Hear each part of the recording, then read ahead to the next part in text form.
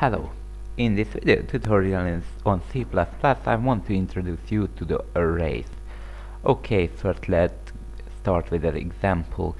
You want to store a lot of uh, things from with the same data type. So, for example, you want to store a lot of char. So, you can do by char C1, C2, C3, C3, oh like that? Okay but if there is a lot of character you want to store it could take a while and your program code will be much longer and bigger. Okay that's why there is an array. Array is mean that uh, you have you have to define just one array and you can store it a lot of data with the same data type. Because I'm I kind of stuck an explanation I try to show you. For example we have a character variable and put a square bracket after the variable like that. Uh, it means that it is an array. To make an array uh, you should uh, make you should give the size of it. For example we want to hold I don't know 5 character. Uh, watch with the index numbering because the the index starts from 0 and goes uh, to n minus 1 n is the number of elements in the array so in this case 5 so the indexing will go 0 through 4 not 5 uh, it will give some error I think segmentation error. Your operating system will give it. But actually your program may actually uh, compile or it give an error. Mm, so now we uh, we have that. We could uh, mm, refer to elements like C0 is the actually the first element of the array but it starts from 0 so for example make it equal to a capital H like that. Then the C1 make it equal to uh, not capital E. And C2 make it equal to L. And C4 we actually 3 make it equal to L. And C4 make it O. Don't forget this is the last element of the array. Okay in the for loop I said that you can easily use for loops to write out uh, elements of the array. Let's do that. So, for int i equals 0, i less than 5, so it will go 0, 1, 2, 3, 4, not 5 because 5 is not less than 5. And increase the i and write out the ci. So this is how you can refer to elements with the name and inside square brackets you put the number which element do you want. Okay in this case we want ci uh, it means that first it will be c0 then c1 eh, I think you understand it. And make a new line right here to make it nicer like that and save it. And uh, you may notice that there is no code blocks here because there is just one thing I want to write out. So it is just one line one statement not more.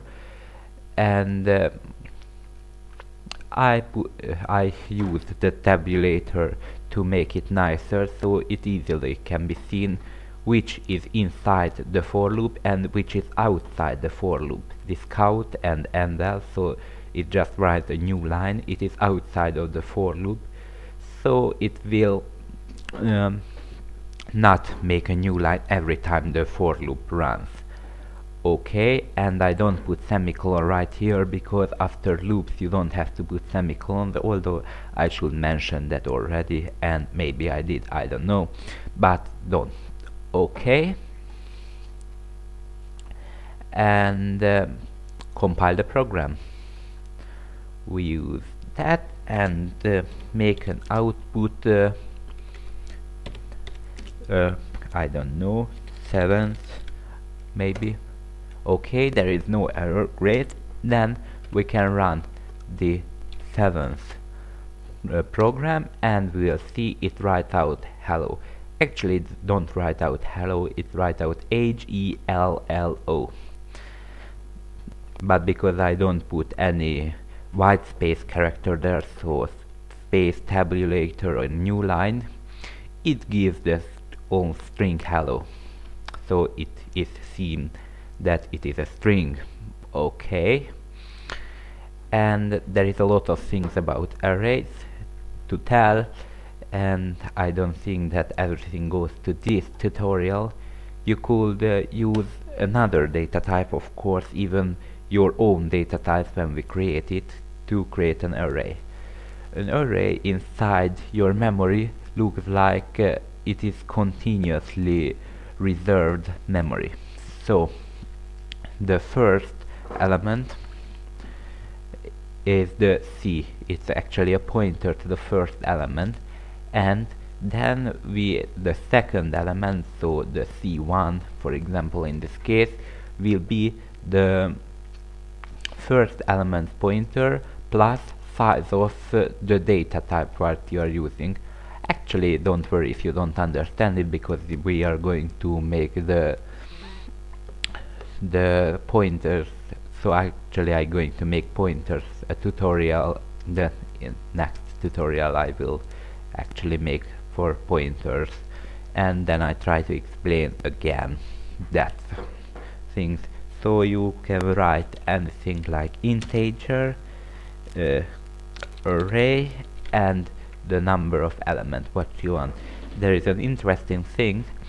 If you don't put nothing in the square bracket you could use this method to mm, put elements inside your array. So for example we put these characters actually numbers not characters inside the array. And as you can see there is uh, so we don't give how many elements do we want but the compiler will assume that we want uh, elements uh, so we want as many elements as in this. Actually after this you have to put a semicolon. This is an exception of exception when you have to put a semicolon after the closing bracket. The other exception for example is the after structs or classes. Okay and write out with a while loop to make a little practice. So while mm, make a while array i. I know I don't declare the i and define. I will int i equals 0 while not equals to 99 so the last element we want to write out. Actually there is a problem with this is that it will not write out the last element so uh, make a do while loop actually. So do and uh, while and every time it goes here we want to increase the i and write out the array i element. So at first it will be 0 so we will write the 11 then it will be 1 because we increase it right here. The array i is not 99 so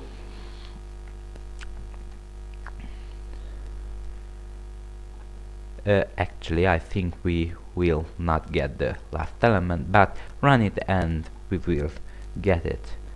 Okay compile the program actually I forget the semicolon right there. Compile the program and uh, run it. And as you can see there is uh, the last element. It it doesn't get the last element. So we could get the last element by while true so that was my first idea to use an endless loop although it's not endless because we write a break out when the array is the, the array i is 99 so write out the array i a space after it and a semicolon. And uh, then if array i equal don't forget there is two equal sign. It's made is it equal? Not make it equal. 99 then uh, break. And uh, just increase the i. Now in this case we will get uh, actually made a new line here uh, and line. We will get all elements from that array even if we don't know how many elements in it we know the last element. So compile it and run it. You can see it write out all of the element of the of that array even if we don't know how many elements is in there we know the last element.